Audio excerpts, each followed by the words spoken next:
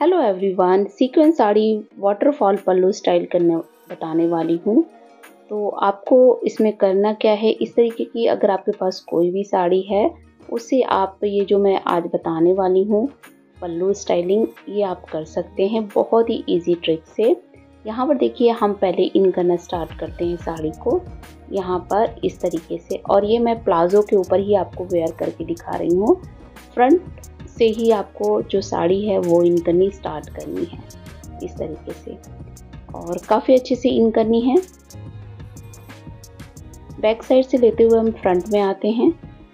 Front में आने के बाद आपको भी काफ़ी अच्छे से इन कर लेनी है।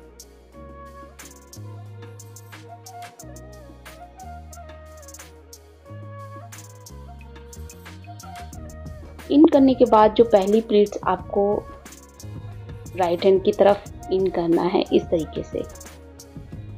यहाँ पर देखिए, जो हमारी फ़र्स्ट प्लीट है, उसको आप राइट हैंड की तरफ़ से इन करना स्टार्ट करते हैं। इस तरीके से। एंड सेकंड प्लीट भी आप उसी से थोड़ा सा डिस्टेंस देते हुए आपको इन करनी है।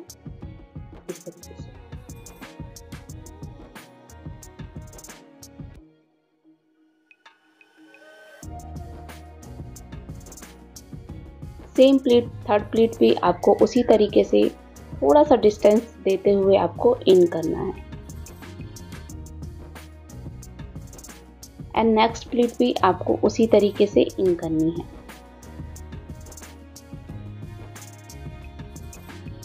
एंड नेक्स्ट भी उसी तरीके से इन करनी है। आपको लेफ़्ट हैंड की तरफ़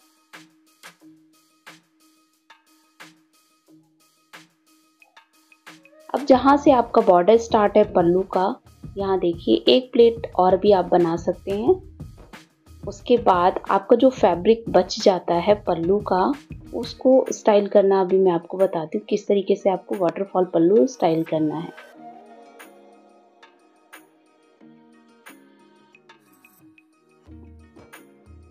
बैक साइड से लेके आना है।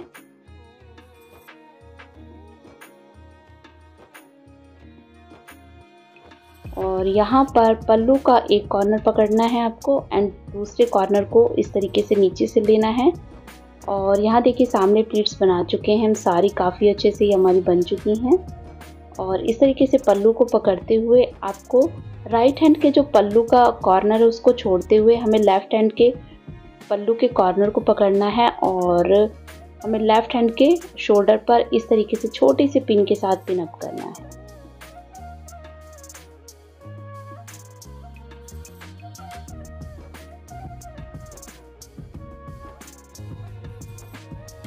एंड इस तरीके से आपको बॉर्डर लेना है।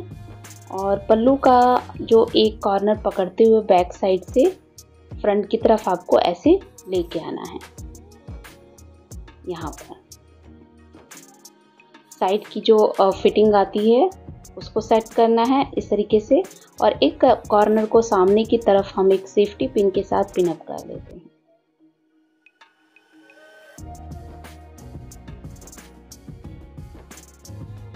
इस तरीके अब सामने से हमें पल्लू को काफ़ी अच्छे से इस तरीके से सेट करना है।